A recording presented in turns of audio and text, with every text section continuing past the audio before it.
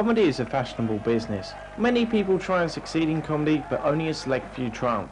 But just how do people get their break in comedy, and what do they get up to when they're there?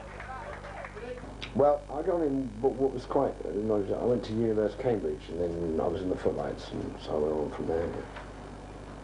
And then I, well, so I did reviews, student reviews. Then I, and then I got, I directed one in Edinburgh, and I was given a job as a radio producer. And I, I was a radio producer for three years. And then a friend of mine was doing a thing called Not the Nine O'Clock News. I was asked if I wanted to be in that, because I've been in a lot of reviews and things. So, um, and it all just sort of followed on from there. I started on the street. I thought you might have indoors, some sort of circus thing. Most special acts start on the street and go in. I first started um, trying to do stand-up comedy about 1985, and I played to of the London clubs like Jongleurs and that. But then I uh, gave up on that because I got uh, heckled too much. So then I sent sketches off to a Week Ending on Radio 4, which was a satire show which finished recently after 18, 20 years and nearly as many laughs. Heckling is always a problem, but how do comedians come back from a really good heckle? If it's just a deeply personal comment, I can say, you're really not the least bit funny, I hate you, something along those lines. That sort of, well, you, and uh, if the crowd don't go with you when you put them down, you know, or they keep going, you're not funny, you're not, you're crap, you're whatever. Seymour! What? well, plus the three we started with earlier, yeah? Marvellous. Thank you so much for sharing Hey, your girlfriend wishes your cock's as big as your mouth is.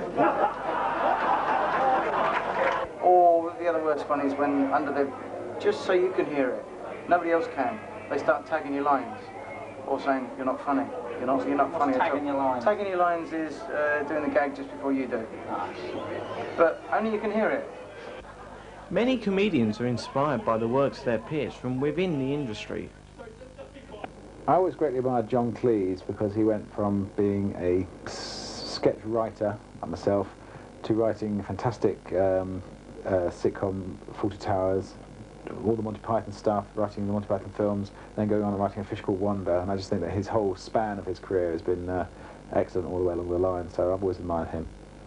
I always love Morecambe Wise, and I love I love people like Frankie Howerd. I worked with Frankie Howerd a lot when I was in radio. Yeah. So I always loved that. Yeah, I always loved all that old comedy rather than brand new, spanking new comedy. I didn't have much time. I used to love. When we left, we were at school, we were sort of Monty Python people, you know, Monty Python babies. Really struck, it was fantastic. And now I don't have so much affection for it. My, my favourite two, I suppose, would be Eddie Izzard and Lee Evans. Oh, I like Eddie Izzard. Uh, both of whom I think are geniuses. Uh, on the special front it'd be Les Bubb, who you probably don't know from Adam. Um, he's an English mime, but he's really good. He's not like Marcel Marceau stuff. He's just really funny. Um, and an old guy called George Carl, who's I think lost it now. He's a bit senile, but he was funny. Comedians have different styles, but where do they get the basis for their material? Well, it's uh, uh, society, I suppose. You look out at the world around you, and uh, you base it on that. They, somebody cleverer than me once said that satire is a distorting mirror uh, wherein we see ourselves more clearly.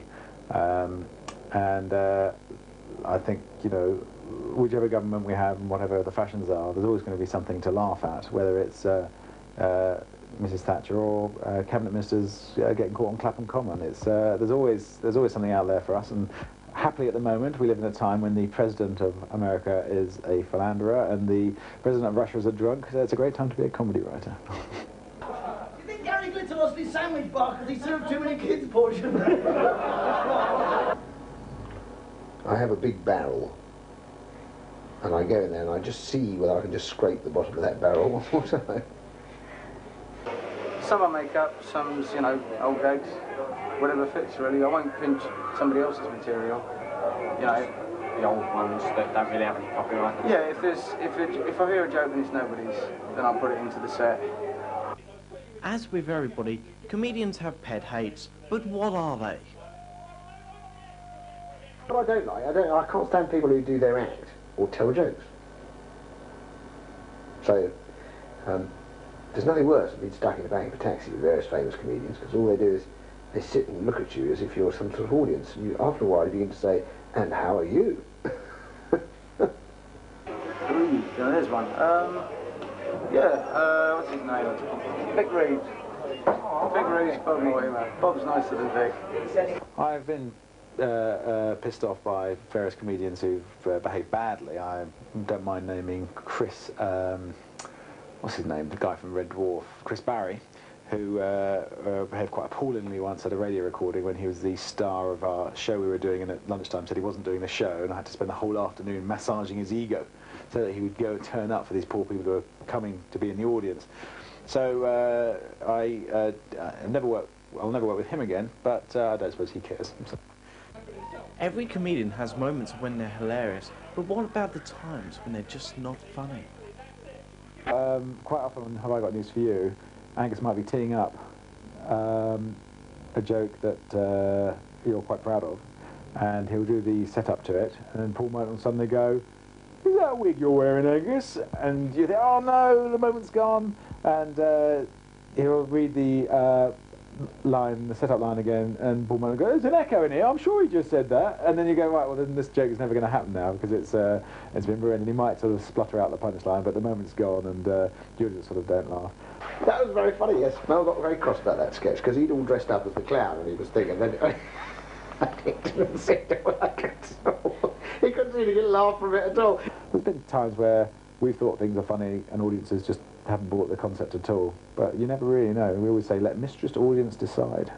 And he's wandering around dressed as a bleeding clown. But clowns just aren't funny, it's the old thing. We've now had an insight into the comedian's world. We know what they love and hate. But remember, it's still up to you whether or not they're funny.